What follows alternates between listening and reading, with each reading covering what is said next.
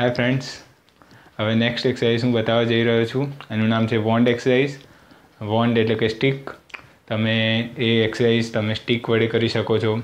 પછી કેન વડે કરી શકો છો. તમારી જોડે કોઈ લાકડી પડી હોય એના વડે કરી શકો છો. કોઈ સ્ટીલના બાર વડે કરી શકો છો. તો અત્યારે હું એક્સરસાઇઝ તમને મારી જોડે એક સ્ટીલનો બાર પડ્યો છે. એના વડે સમજાવીશ. આના વડે. એક્સરસાઇઝમાં તમારે તમારા ફ્રોઝન શોલ્ડરવાળો હાથ છે. એ હાથમાં જે જગ્યાએ પેઇન થઈ રહ્યું છે, એના કારણે પેશન્ટની મેઇન કમ્પ્લેન શું હોય છે? કે પેશન્ટને હાથ ઉપર જતો નથી એટલેથી પછી પેશન્ટને હાથ પાછળની બાજુ નથી જતો, પછી વોલેટ લેવામાં તકલીફ પડે છે માથું ઓળવામાં તકલીફ પડે છે, એ બધી કમ્પ્લેન માટે મેઇન આપણે હાથ ઉપર લઈ જવા માટે આપણે આ સ્ટીકનો ઉપયોગ કરીશું. જેમાં આપણે અફેક્ટેડ સાઈડ એટલે કે જે ફ્રોઝન શોલ્ડર થયેલો છે, એ આપણે જમણી બાજુ માનીશું. જમણી બાજુના હાથ આપણો આટલે સુધી ઉપર જઈ રહ્યો છે હવે વધારે લઈ જવો હોય તો હાથમાં દુખાવો થઈ રહ્યો છે અને જતો નથી. એ કેમ? તો દુખાવાના કારણે.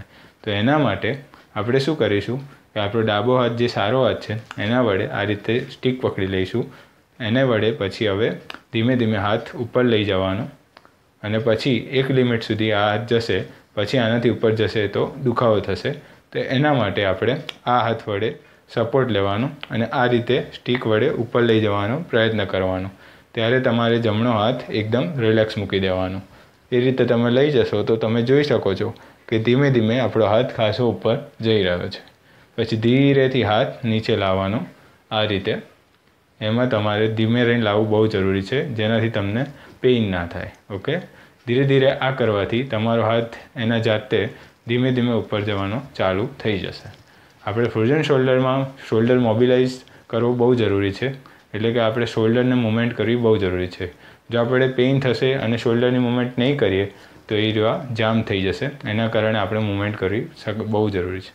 એના સિવાય તમે બીજી એક્સરસાઇઝમાં કરી શકો છો કે આના વડે તમારે સપોર્ટ લેવાનો છે અને તમારો જે આ હાથ છે, જે ફ્રોઝન શોલ્ડરવાળો એની કોણીને અહીંયા અડાડી દેવાની છે આ રીતે. પછી તમારે આ સળિયા વડે સળિયાને તમારા જે ફ્રોઝન શોલ્ડરવાળો એટલે કે જમણી બાજુનો હાથ છે, એના વડે આ બાજુ ખેંચવાનો છે, બહારની બાજુ. બરાબર? એ અને બાકીના સળિયા ડાબા હાથ પકડીને એને ડાબી બાજુ ખેંચવાનો છે. એટલે શું થશે? તમારે હાથ જમણી બાજુ ખેંચવા માટે જોર લગાવવું પડશે. એટલે તમે આ રીતે એટલું વજન આપો ડાબા હાથ વડે કે જેનાથી ધીમે ધીમે હા, સળિયો જમણી બાજુ જાય. એના વડે તમે જ્યારે આ મુવમેન્ટ કરશો, ત્યારે તમને અહીંયા ખેંચાણ ફીલ થશે. એ ખેંચાણ તમારા એક્સટર્નલ રોટેટર્સ કે જે એક સ્નાયુ હોય છે, આપણા ખભામાં, એના માટે છે. અને એ એક્સરસાઇઝ આપણે કેમ કરીએ છીએ? તો એક્સટર્નલ રોટેટર્સ જે આપણા વીક થઈ જાય છે, એને સ્ટ્રેન્થન કરવા માટે, એને મજબૂત કરવા માટે, એને તાકાત તાકાતવર બનાવવા માટેની આ કસરત છે. બરાબર? આમાં ફરી એકવાર કહી દઉં કે આ અથવાડે આમ ખેંચવાનું છે અને જમણા અથવાડે આમ ખેંચવાનું છે. એટલે તમે આ રીતે ખેંચી રાખો અને ધીમે ધીમે જમણા હાથ વધારે તાકાત કરીને આ હાથને ધીમે ધીમે બહાર ખેંચો. એટલું વજન આપો હાથ વડે કે જેનાથી જમણા હાથને તમારે દુખાવો થાય નહીં. એટલી તમારે આ મુમેન્ટ કરવાની છે.